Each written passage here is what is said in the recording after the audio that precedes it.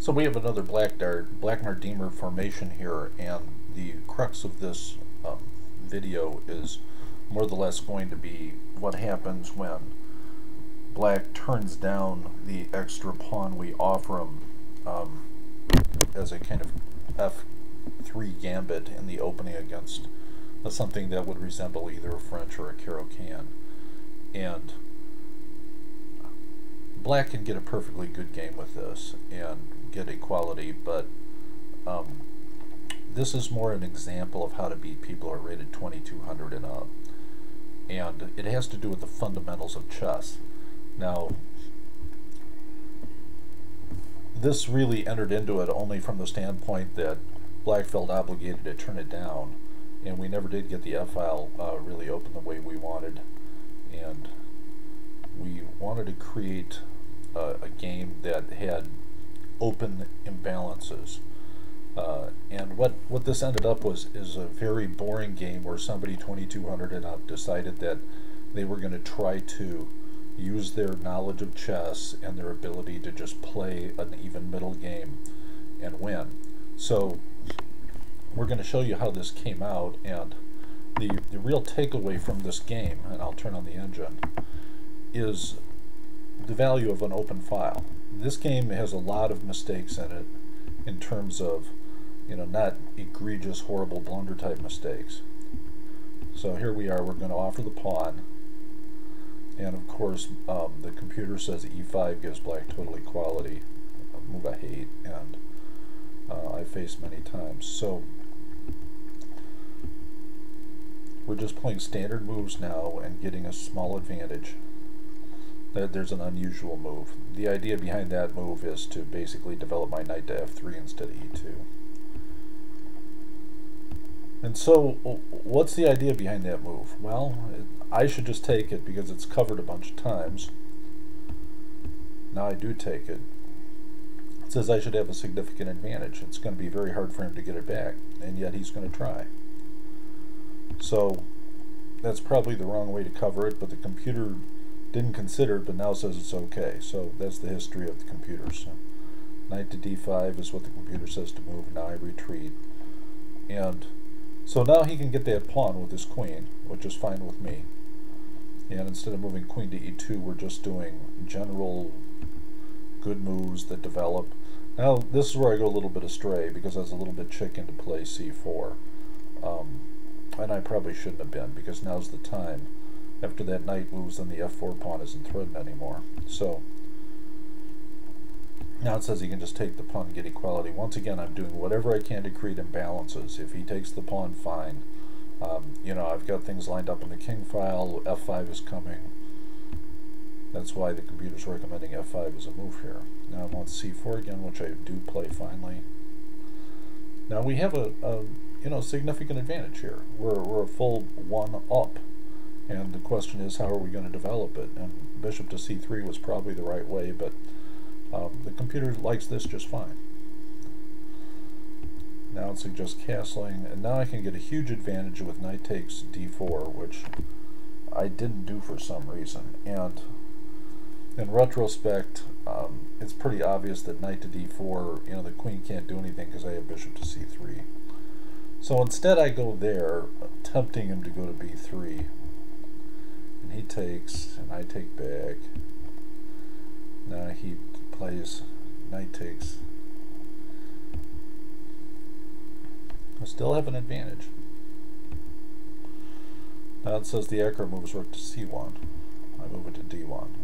For some reason open files appeal to me. And now it's equality.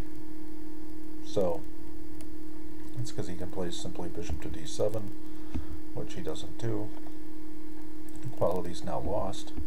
Now we go into an endgame, and this is the kind of thing that I don't like. This is just dreadful, boring chess.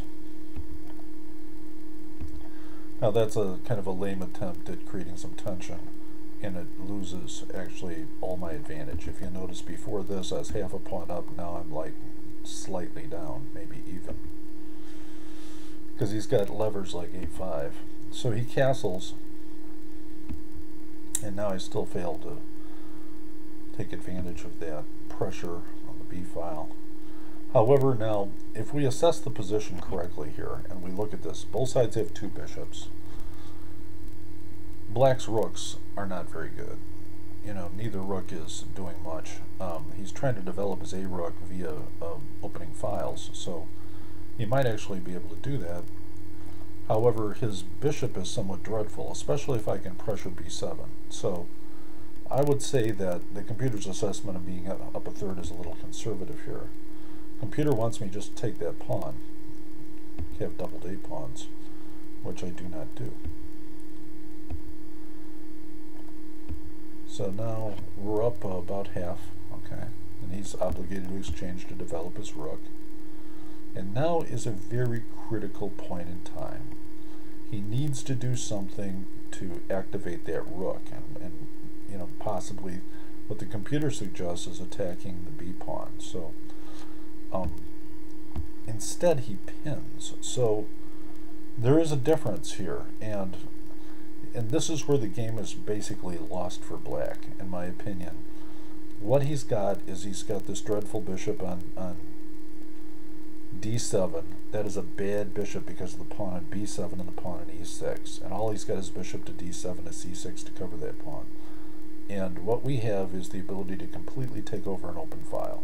And we're going to get the one big open file on the board, which is the A file right now. And computer absolutely says he has to move rook to c3 and try to do something to activate, and now he doesn't, and now the game is, as you notice, it went from being 1 up to 2 up. So he's going to make all the best moves here, pretty much. I'm, I'm not. b5 is the most accurate move. Bishop to b6. And now it says I should just move b5, and, you know, computers are really good at calculating. Um, instead, I protect my pawn. However, I'm still up over 1. So, also b5 can't be stopped. So we'll see what he does. He had rook to b8, which would have held out. Held out somewhat. Now the game's over. As you see, this is an easy example of how games are won and lost at higher levels. He just made, you know, look, we have even pawns, right? Except I have the open file and I have a potential pass pawn on the queen side that's going to win the game. In a completely even position, I have all the space, all the files, and the computer says I'm up 3.7. There's nothing he can do, so we'll just show you the rest of the game.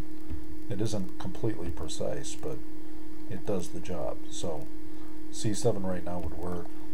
Oh, that's what I played. Okay, so. And now simply rook to a3 is the simplest way to win because um, his rook's in a bad position. It can't retreat to the first rank or his first rank. So I'm able to actually protect from behind and instead I choose to move my king up. This just requires the slightest bit of caution. Now I have a place to hide on e8 and then I queen the pawn. And the game's over, he resigns.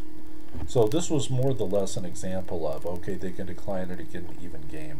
But what I wanted to show you was how easily the game slips away because of the bad bishop on d7 and the open file that you can take over on the a file. Basically, it went from an even game to an overwhelming advantage in one or two moves. Really one move. So that's the end of our example today.